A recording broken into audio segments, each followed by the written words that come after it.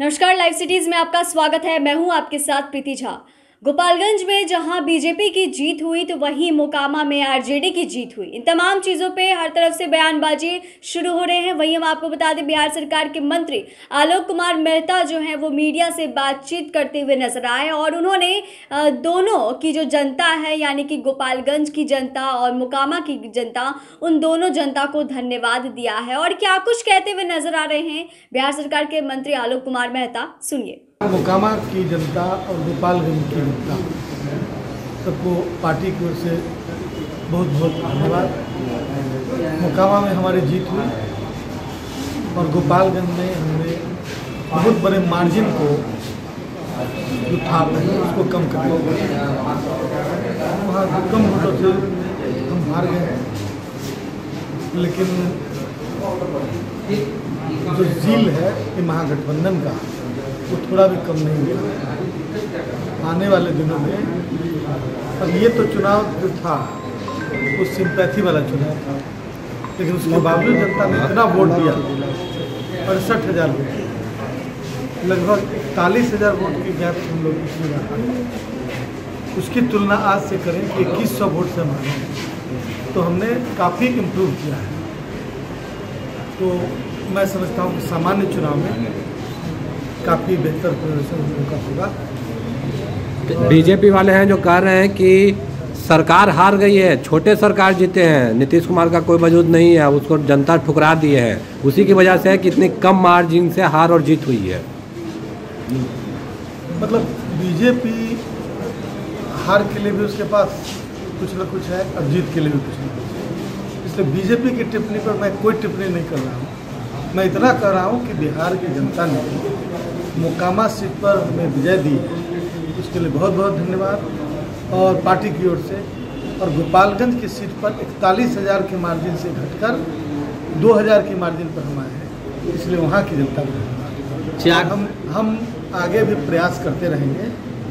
और पूरे बिहार में महागठबंधन का एक जो असर है उसको काटने की जो कोशिश हो रही है भारतीय जनता पार्टी की तरफ़ से वह बिल्कुल ही अवैध तरीके से। या तो या तो धन का उपयोग किया जा रहा है या फिर मैनुपुलेशन किया जा रहा है। मैं बहुत कुछ नहीं कहना चाहता उस पर क्योंकि इन तमाम चीज़ों के लिए जो तमाम चीज़ों के बाद भी जो रिज़ल्ट आया है मैं समझता हूँ कि हमारे महागठबंधन नेता प्रतिपक्ष कह रहे हैं कि चुनाव काउंटिंग को रोक दिया गया था बीच में डेढ़ घंटे के लिए और उलट फेर कर दिया गया है। गोपालगंज में। बयान नहीं सुना नहीं है और उन्होंने कहा है गोपालगंज में। तो निश्चित रूप से कोई ऑथेंटिक इंफॉर्मेशन के आधार पर कहा यदि ऐसा है उसको रिव्यू किया जाना चाहिए। और कैसे देखते हैं बीजेपी वहाँ में मुकामा में पूरा हॉट सीट बना दिए थे उतना चुनाव प्रचार किए थे फिर भी जीत मिली है आप लोगों को? क्या कुछ चिराग जी भी उतर गए चिराग भी उतर गए थे। सुशील? आने वाले चुनाव में वही हाल होगा।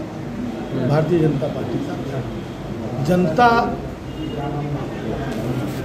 हैवक से जनता जो है धन प्रदर्शन से और इस तरह की चीज़ों से नहीं डरती। जनता में जागरूकता है।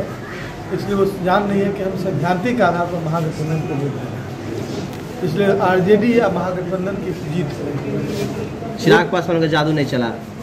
वो कह रहे हैं इस बार जो है जाति पाति की वोट नहीं पड़ी है। गोपालगंज में इस तरह से जीत हुई है। वो बीजेपी की कह रहे चौबीस और पच्चीस में जो है इससे भी बड़ी जीत जो है बीजेपी की होने वाली है। अपने मतलब सपना देखने में कोई दिक्कत नहीं? वो तो कह रहे थे कि महागठबंधन जो है लगातार सारे लोग एक तरफ़ थे, तब भी जो है गोपालगंज नहीं जीत पाए।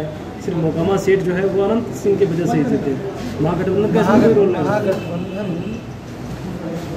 सिंपैथी वोट से मुकाबला। महागठबंधन का। और सिंपैथी वोट कहीं सुभाष जी की मृत्यु हुई, उसके बाद जो सिंपैथी वोट है, बस थोड़े मार्जिन से जीते हैं। तो इस पर मैं क्यों नहीं कहूँ कि सुभाष जी के व्यक्तिगत और उनके सिंपैथी वोट की जीत वो भाजपा की जीत नहीं है यह भी तो कहा सकता है। तो ये बेकार की बातें जो बोल रहे हैं उसमें सीधी सीधी बात है जो रिज़ल्ट आया है आवाम ने मुकामा सीट हमें दिया है और लगभग अड़तीस हज़ार वोट का गैप पूरा किया है वहाँ पर। गोपालगंज में इसलिए हम जो मतदाता मालिक हैं उनको बहुत धन्यवाद। है। तो आपने सुना कि इन्होंने क्या कुछ कहा? जहाँ गोपालगंज में बीजेपी की जीत हुई है, इस पर भी उन्होंने बीजेपी की जनता को धन्यवाद दिया और कहा कि आगे चुनाव के लिए हम पूरी तरीके से तैयार रहेंगे और बीजेपी इस पर क्या कुछ कहती है वो ज़्यादा इस पर ध्यान नहीं देते हैं, क्योंकि उनका काम ही है कहना, उस पर वो कोई भी टिप्पणी नहीं करना चाहेंगे। लेकिन साफ़ तौर से उन्होंने यह भी कह दिया है कि अगली बार की जो चुनाव होगा, उसमें हम अपनी कमर जो है वो पूरी तरीके से कस लेंगे। इस बार थोड़े से वोट के लिए हम चूक गए हैं। तो फ़िलहाल इस वीडियो में आज बस इतना ही। बाकी की खबरों के लिए देखते रहे लाइव सिटीज़